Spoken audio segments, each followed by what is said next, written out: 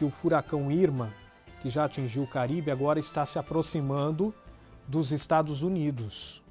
Isso tem preocupado, as pessoas estão saindo do estado da Flórida, as pessoas estão se mobilizando, supermercados estão praticamente com as prateleiras vazias, as pessoas estão se preparando como podem. E uma Santista está em uma das cidades onde o Irma deve passar. Ela está lá, apreensiva, angustiada, e ela gravou um vídeo e vai contar agora para a gente como está o clima neste momento lá nos Estados Unidos. Vamos ver esse vídeo.